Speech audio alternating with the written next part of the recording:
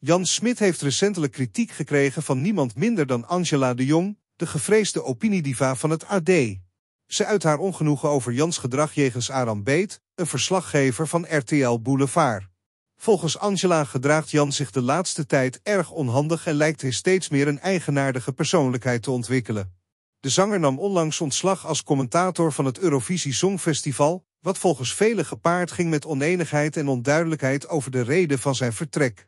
Wanneer kritische vragen gesteld worden over deze kwestie, reageert Jan naar verluid uiterst geïrriteerd.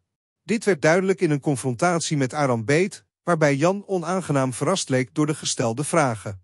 Opmerkelijk genoeg koos RTL Boulevard er eerst voor de beelden niet uit te zenden, maar recentelijk hebben ze dat besluit teruggedraaid, waardoor het publiek nu getuige is van Jans onaangename reactie.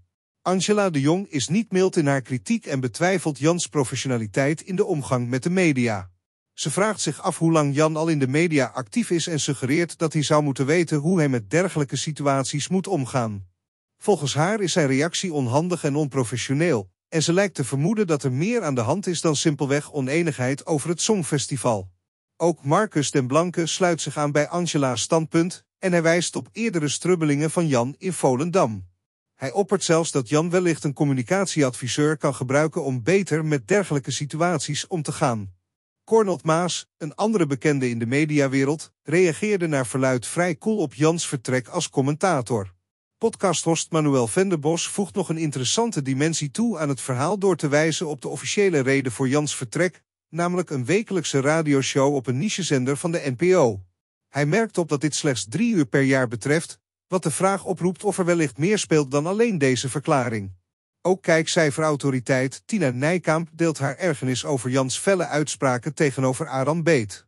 Ze haalt aan dat Jan ooit de kans kreeg om het Eurovisie Songfestival te presenteren, maar nu lijkt hij niet erg dankbaar te zijn voor die mogelijkheid.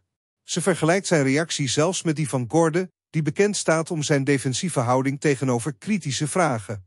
Nijkamp suggereert sarcastisch dat er misschien een docuserie gemaakt kan worden over hoe om te gaan met lange tenen, waarmee ze lijkt te verwijzen naar de vermeende gevoeligheid van Jan voor kritiek.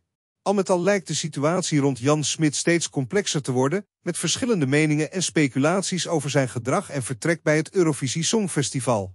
Het verloop van deze mediarol blijft voor velen een interessante en intrigerende zaak om te volgen.